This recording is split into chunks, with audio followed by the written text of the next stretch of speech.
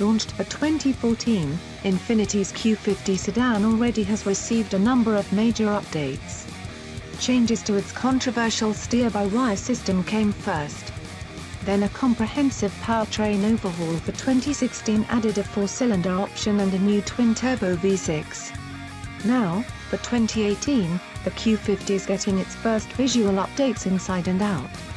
Now, for 2018, the Q50 is getting its first visual updates inside and out. The Q50's front end is only SLGHTLY different than before, with new lower air intakes, a more three-dimensional look for the grille, and a reshaped bumper.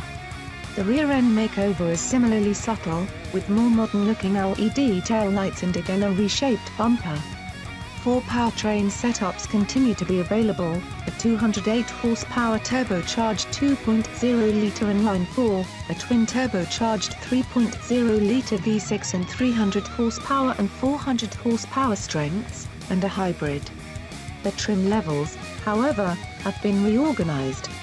Pure and Luxe trims replace the existing base and premium models, while the Sport and Red Sport 400 models stick around.